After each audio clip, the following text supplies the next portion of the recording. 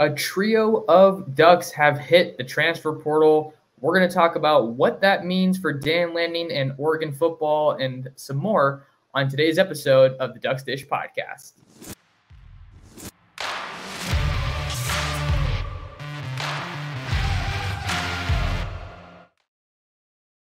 And we're back like we never left. Oregon fans, how we doing? Hope everybody's having an awesome day. Thank you so much for tuning in to another episode of the Ducks Dish podcast. I'm your host, Max Torres. Uh, excited to have you guys along for another episode of the pod. Uh, reminder to like, comment, and subscribe wherever you're listening or watching today's episode. You can find the Ducks Dish podcast on your podcasting platform of choice. And we're coming to you on YouTube at Oregon Football Max Torres. Appreciate all the continued support. And if you're a new listener, welcome aboard. Uh, so, on today's episode of the Ducks Dish podcast, we have some transfer portal movement for Oregon football. We're going to break down each of those players and what their departures mean for Dan Lanning's program, and uh, uh, also a little bit about uh, some offers that Oregon has made in the transfer portal as the Ducks look to enhance and bolster their roster by using the transfer portal. So, let's see, where do we want to start out on today's episode? I think the best place to start on today's episode is Keith Brown. Uh, Keith Brown, you know, third year, uh, well, rising junior linebacker for Oregon. He was the first one to enter his name in the transfer portal in this recent wave for the Ducks. Uh, might add that the uh, the NCAA opened the transfer portal two weeks early, uh, something that I think caught a lot of people off guard and by surprise. And to do it while spring football is still going on is is really interesting. Um, but but with that being said, let's go ahead and and read Keith Brown's you know farewell note. I always want to put the players' words out there. Brown saying, quote, Thank you, Oregon. I appreciate everything that you have taught me. I loved every moment of being a duck, and I will cherish that forever. No love lost. Thank you to Chief, Miss Steph, Rachel, and the whole training staff. Thank you to all the coaches that helped me become to the player that I am today. And thank you to the fans that have supported me from day one. I will be entering my name in the transfer portal. Signed, Chief Keith. So, uh, yeah, this is a this is a move that was a pretty big shocker for a lot of Oregon fans, and I think that that's for a number of reasons, right? Um, the first one being that Brown was in line for more snaps in 2023 after finishing the 2022 season on a pretty high note, playing his best game of the year in that Holiday Bowl win over North Carolina. And with the Ducks losing Noah Sewell to the uh, NFL draft later this month, we got to see where he lands. I think he'll, I don't know where he'll get drafted, but I have no doubts that he'll end up on an NFL team. With him going to the draft next year, to the draft this year, rather. Keith Brown was slated to be a guy that was competing for a starting spot on Dan Lanning's defense uh, alongside Jeffrey Bassa. So this move came as a surprise for, for that reason. You know, a lot of times transfer portal movement is is attributed to playing time, and uh, it looked like that might have been a, a, little bit of the the reason here uh, because the Ducks also added a couple of players from the transfer portal. Uh, so you know, Brown is is on his way out, but a couple players come in. So we can also talk about the the depth at the linebacker room. I'm going to get into that in just a second, but the the interesting thing is that this move comes just after Keith Brown said he wanted to be a Duck, you know, and he wanted to. I'm, I'm paraphrasing a little bit, but he was, you know, saying along the lines of, uh, "I could have been one of those transfer portal guys. Uh, you know, I've, I've always been a Duck. He he grew up in Oregon, right in Lebanon." Uh, so he's he's a guy that is on this roster that you can probably say safely, you know, it means a little bit more to him. I think, you know, same thing with Alex Forsyth, Ryan Walk, and, Justin Herbert in, in past years, Patrick Herbert now, Cam McCormick before he hit the transfer portal. Um, it's it's something special, something different to uh, these guys that come from the state of Oregon and have the opportunity to represent their home state. So to hear Brown, you know, make make his comments about wanting to be a duck. You know, this is this is you know home for him. It means a lot to him. He's he's always been a duck. Grew up a duck fan uh, along those lines. It it makes it a a shocking move, but now that he's entering the transfer portal, we all we can do is is kind of you know look ahead, look at what's next, what this move means for Oregon. I talked about how Brown was in line to, to get a uh, notable increase in playing time and snaps this year. Um, we know that he played a lot in 2021, even as a true freshman. You'll remember this was an Adidas All American signee in Oregon's 2021 class. So it's not like Brown was just some walk on or you know, he was a highly touted player coming to Oregon, and he kind of got thrown into the fire in 2021 with some injuries to that linebacker room and he looked like he was really stepping into his own. But now that he's gone, the Ducks have some other names that they're going to turn to. Jeffrey Boss is the most experienced returner, even though he's a converted safety after signing with the Ducks as a safety in, in 2021. So Jeffrey Bassa is obviously a big name to know there. He's emerged as a big leader for that defense. Um, and then you also have Harrison Taggart and Devin Jackson, a pair of really athletic, fast, twitchy linebackers that the Ducks signed in 2022.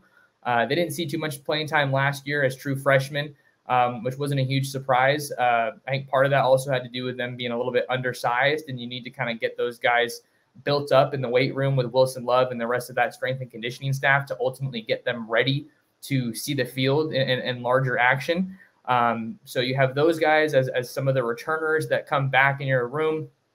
And you also add Jerry Mixon from the 2023 recruiting class. He um, he joined the Ducks for the uh, you know second half of, of spring ball after being touted as one of the best athletes, one of the best recruits out of the Bay Area, coming from Sacred Heart Cathedral in San Francisco, cousin of Joe Mixon, uh, you know NFL star running back. He's super athletic, and I'm excited to see how he fits in. But I don't know if he's necessarily going to be competing for early playing time. So let's get to some of the transfers that the Ducks added. Justin Jacobs out of Iowa and Connor Soelle out of Arizona State. Those are two names that are going to be that you're going to be hearing a lot in 2023. I think Justin Jacobs was already one of the better additions that any team could have added in the transfer portal. You look at Iowa and what they've been able to do defensively, they've really made a name for themselves as a school that has pretty strong linebacker play in particular. Um, you know, Jack Campbell was the, the guy that drew all the buzz and attention, but Justin Jacobs was there as well, you know, right alongside him. But he got banged up, wasn't able to play a, a full season in 2022. So he's coming off of an injury. But, uh, you know, all the return from from uh, spring ball has been positive on, on Justin Jacobs. He's already generating NFL draft buzz because he's going to be getting coached up by Tosh Lupoi and Dan Lanning. Uh, and then now Brian Michalowski as well uh, the the new uh, inside linebackers coach that the Ducks added from from Oregon State. So there's a lot of reason to think that Justin Jacobs will be able to take that next step. But as promising as everything can can sound or you know look on the surface, we're not really going to know what this room looks like until the spring game. And even then, it's going to be a little bit hard to get a good feel for what the depth looks like at that position because they split the guys up. You know, you're not going to see first team on first team, good on good necessarily uh, every drive, every play.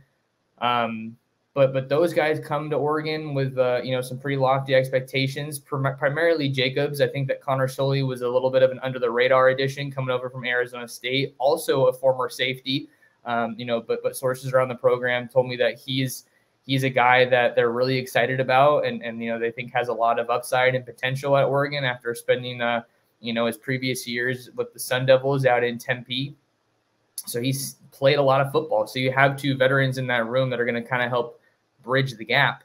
But the other guy that I think has a lot of people excited in spring football is Jamal Hill. Uh, Jamal Hill is looking like he's working at linebacker, and you know he's he's up to 227 pounds. So I, I don't think that this looks like a short-term move for Jamal Hill. You, you, don't see a lot of DBs playing close to 230 pounds. Um, and he's he's looking he's looking thick out there. You know, he's put on a lot of weight. Um, so he, he looks like he has more of a body type of your traditional linebacker, and, and the the return has been pretty good. You know, he's he's still got some room to grow, obviously room to learn, but I think he was saying yesterday, following the practice interviews, that he kind of wishes he would have done it sooner. Um, but this move makes a lot of sense, not only because of Oregon's depth there, but because of their depth at the safety spot, you know, with guys like Bryan Addison, Steve Stephens, also back uh, on that group, in that group. uh, I think that uh, you know this is the perfect time to try to get Jamal Hill rolling at a new position uh, because um, he hasn't necessarily been able to kind of get himself back to that level of play from his breakout 2019 season, where he had those two picks against USC, and then I think a lot of people had a lot of hype and were expecting a lot, and, he hasn't necessarily lived up to the expectations there. But we know that he's a physical guy. Um, he, he said he loves being in the box, being by the action and and that will probably help him, you know, transition into that room and, and, be a name that we see a little bit more of. Because even though he hasn't played a lot of linebacker, this is another experienced guy, and I think that if you can roll out experience on your on your defense, obviously, and manning the middle like that, that's going to be really big. Another reason I think I like this move for Jamal Hill and, and what it means for the inside linebacker group is you have a former DB you kind of think that lends itself to having better coverage, right? The Ducks were not good in pass coverage at the linebacker spot last year. That's no secret. You don't need me to tell you that. But I think that's another piece of the upside that comes with this move for Jamal Hill. So that linebacker room is is a, a little bit of a mystery right now. But Dan Lanning says that he really likes the depth that this defense has, pretty much being pretty straightforward about we have more depth defensively on this year's team than we did last year. And he also added that he wants, you know, starters to be able to play on special teams, particularly from the linebacker spot. Um, so you want to have guys that are going to be able to affect the game in a couple of different ways. And, and, and at least right now in spring, it sounds like that's something that Dan Lanning sees the Ducks as uh, capable of doing. So Keith Brown's definitely the biggest guy that entered the transfer portal for Oregon that we're going to talk about today. So that's why I definitely wanted to lead the show off with with him and and kind of what that move means for Oregon. So let's get into our next uh, our next guy here. Treven Ma'ae is the second Duck that entered the transfer portal uh, in the you know past couple of days, as the Ducks are in spring football. I'll go ahead and read his note just like I did with Brown. Treven said, quote, thank you, Oregon football, for everything, especially the opportunity to play at this amazing program. I have many cherished memories and relationships in Eugene that I am grateful for. With that being said, I would like to announce that I will be entering the transfer portal with two years of eligibility. It's time for me to find a new home and begin a new chapter.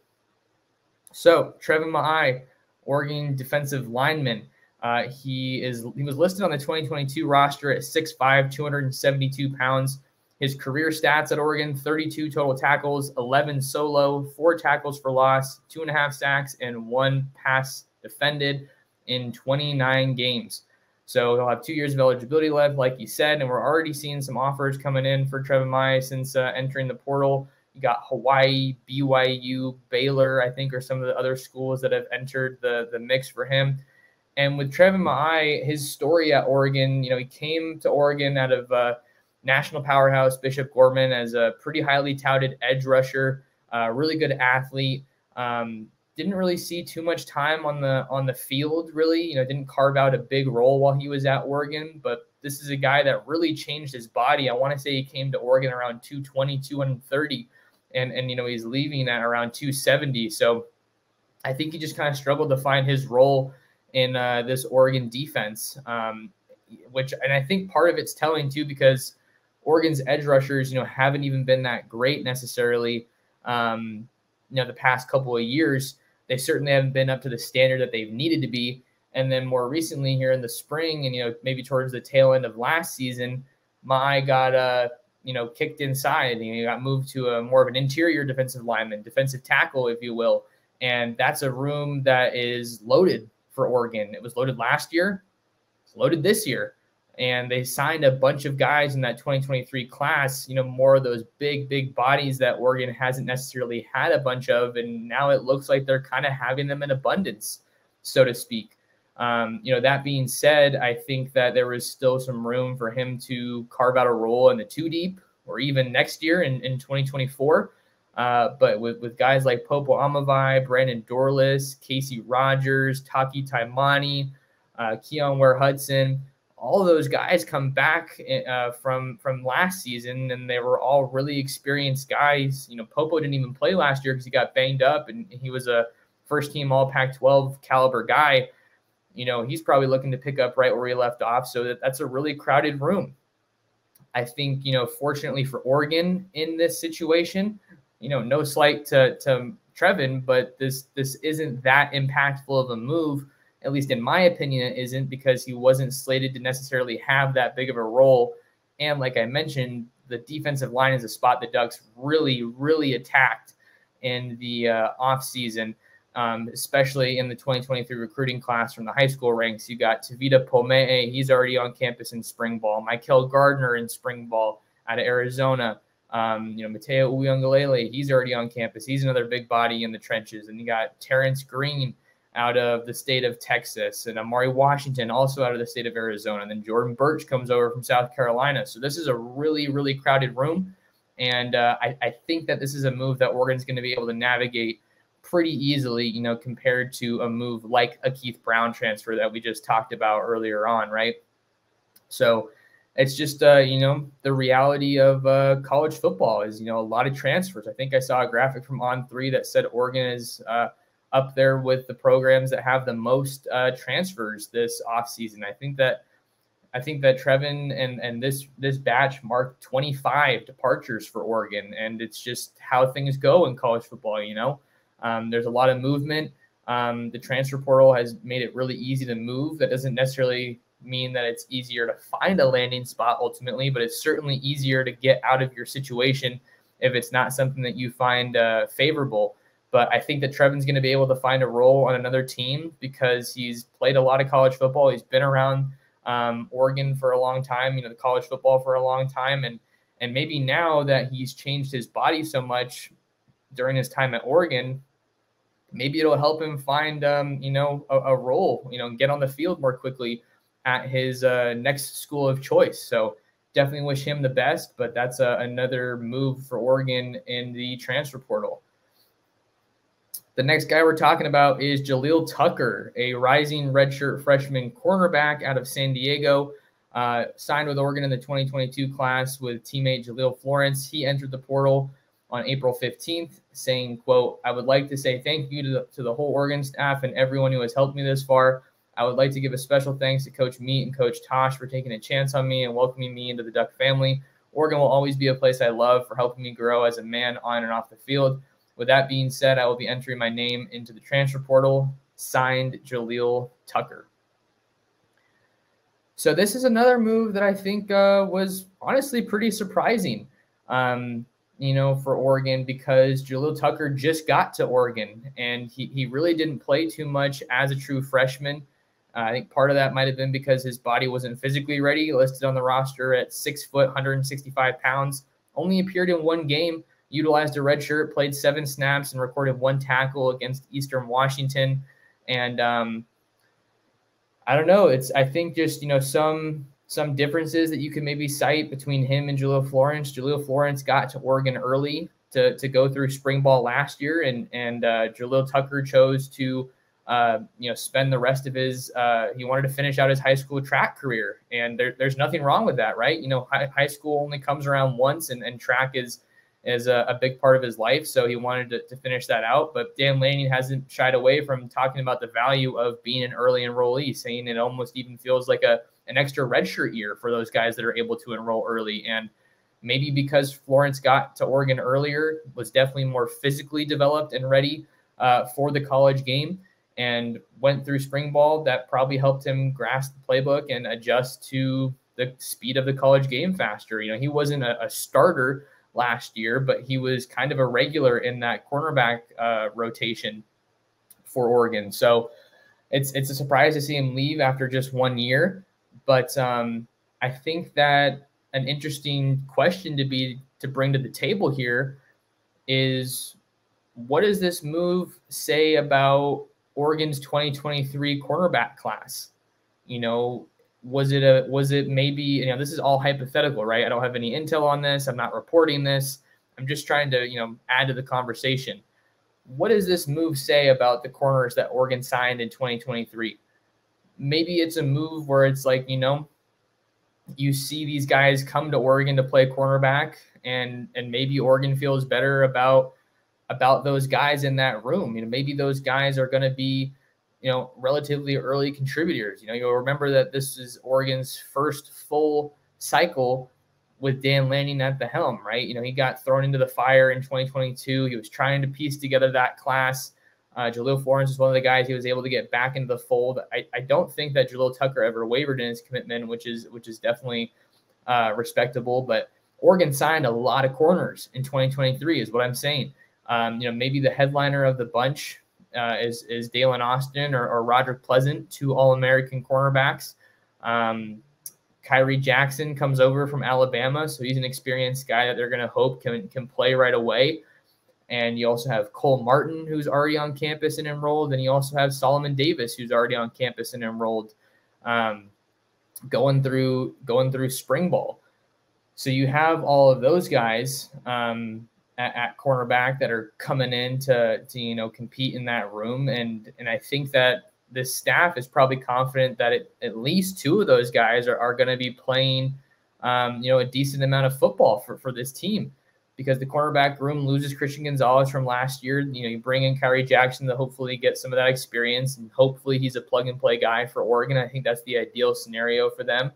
But then you also have Trikweze Bridges uh, in that Oregon cornerback room, and it sounds like he's splitting time between corner and safety again uh, in spring, which I think is is pretty eye catching um, because I feel like for him, if he wants to you know, really take the next step in his game, it seems like it makes more sense for him to focus on on just one position so he can be a difference maker at that spot. But that's not the approach that that Oregon's taking, at least not right now. Um, and maybe he's working at corner a little bit more because um, because Jamal Hill comes down at, uh, out of the secondary to, to play some linebackers. So they want to have maybe that's why he's working at safety, excuse me, um, just to give themselves a little bit more options and, and, flexibility there. And then the Ducks also signed Colin Gill out of uh, Washington, D.C. So there's just so many bodies of that position. Maybe it was just a crowded room. And um, you know the the path to playing time was was pretty difficult there. Um, so I think that that's a room that has a lot of a lot of space to grow, a lot of potential, but they need to do it really quickly because you know the season's coming uh, before you know it, and um, Oregon got shredded through the air last year. And part of that, you know, admittedly, part of that was because of the lack of a pass rush. You can't put all of that on the corners or all of that on the secondary. You know, those two those two aspects, those two elements of the defense have to work in tandem for you to get an effective group at the end of the day. And then there's also Tysheem Johnson, the Ole Miss transfer. You know, he's came to Ole Miss, came to Oregon rather from Ole Miss as a safety, but you know Hampton and and uh, Lane have, have talked about just how versatile that guy is. He's playing all over the secondary. He can play pretty much every position. You know, safety, nickel, corner, uh, whatever it is you need him at. So maybe we see him playing some corner as well, and and, and that could have possibly contributed to this move for for Jalil Tucker as well. Um, so I think that's a bit of a shocker because it was just one year, but that's just the reality of, of where the game's at. You know, you see a lot of guys just, you know, go to school for one year. We saw it with A&M. That 2022 class got eviscerated um, by the transfer portal. Couple more notes. Uh, you know, I meant to say this with Keith Brown's transfer, but I think that with Keith Brown entering the portal, Oregon now only has eight of its original 23 2021 signees. So eight out of 23 guys in that class are still at Oregon. So that just shows you how much movement there's been, how much roster churn there's been, um, you know, since that 2021 class got to Oregon. So that was kind of notable. I thought that was pretty, pretty surprising. Um, and then the other, you know, note that I wanted to talk about on the topic of the transfer portal is Oregon's tight end depth. Oregon's tight end depth is is still uh, a major concern here in spring football. You know, maybe that concern level rose a little bit with Terrance Ferguson getting dinged up and Dan Lanning announcing that he's going to be held out for the remainder of spring, leaving Oregon with just two scholarship tight ends and Patrick Herbert and Kenyon Sadiq, um, who's on campus and going through spring practice. So, you know, both Lanning and and Mehringer, you know, were, were pretty pretty uh, transparent about, you know, the tight end being a spot that they want to address and uh, look for some added depth there. But Lanning also mentioned that there's a couple of guys that have some experience playing tight end that that could help them kind of uh, bridge the gap on the depth chart at tight end the remainder of spring. uh, noting Mateo Uiagalelei as one of them who has a history playing the position. You know, I, I saw Mateo play tight end this past year covering, you know, high school ball out here in the LA area for St. John Bosco. He came up with some huge catches. I want to say it was a pair of touchdowns or at least one touchdown against um, Mater Dei in that Southern Sectional. So that was really big. He's super athletic. Um, I, I, think you know you don't want to be in the position where you have to be asking him to play tight end because you want him to develop as an edge rusher, but he's an option for Oregon, is what we're saying, and it's what Dan Lanning said. And then you have Josh Conerly Jr., who of course caught a touchdown against Colorado on his birthday, lined up in that 14J formation, even though he was primarily playing tackle uh, for Oregon last year. And then Jake Shipley is another guy who who Lanning listed as a you know someone to keep an eye on that could help them out uh, at the tight end spot, you know, at least through the spring. I don't think that this was a long term solution because, like I said, the Ducks are obviously going to want to get Terrance Ferguson back, their leading tight end, um, and then add some guys from the portal. And one name that they actually uh, kind of have keyed in on lately uh, with an offer out of the transfer portal is uh, North Texas transfer Var'Keyes Var'Keyes Gums. Uh, this is a guy who logged 458 yards and five touchdowns uh, last year. Um, and uh, you know, he's he's a guy that the Ducks are going after, listed on the 2022 roster at uh, North Texas at six foot three, 230 pounds, redshirt freshman out of Houston, Texas. Um, so he's in the portal, and, and he's already become a pretty coveted guy uh, with, with offers from Utah and some other schools that come to mind. So um, the portal is going to be interesting to watch. You know, not only with the departures, but it looks like the Ducks aren't done adding as well. Uh, and the tight end is absolutely a priority, right? Especially with your number one tight end banged up. It's not a position that you want to be in. And then even before that, we already knew that the tight end depth wasn't that great for Oregon um, in terms of proven production and returners after losing Moliki Matavao and Cam McCormick. You know, those departures are becoming, uh, you know, they're feeling them a lot more right now in Eugene. So we'll have to keep an eye on the tight end room and, and what developments come from the portal as the Ducks look to add another tight end. And that's going to do it on this episode of the Ducks Dish podcast. Appreciate you guys taking some time out of your day to talk some duck football with me. Make sure to lock in with me on all social media platforms Twitter and Instagram. I am at M Torres Sports, and then I'm at Oregon Football Max Torres on YouTube. reminder to like, comment, and subscribe, and share the Ducks Dish podcast with your friends, with your family, and with other Duck fans. Until next time, thank you so much for tuning in, and we'll catch you in the next episode of the Ducks Dish Podcast.